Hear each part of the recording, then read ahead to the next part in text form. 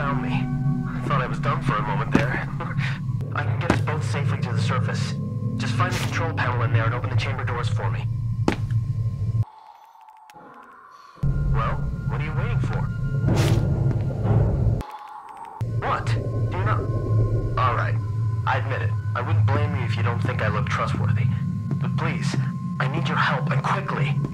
The mask has been stuck to my face for some time now, and I think I might need medical attention or it might kill me from the inside. Just let me out, and I can find us an exit in a matter of time. Alright, look.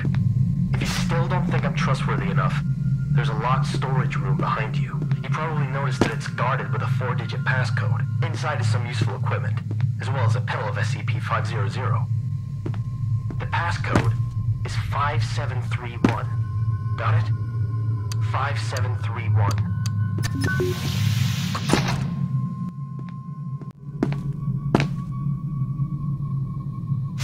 See? You can trust me. Now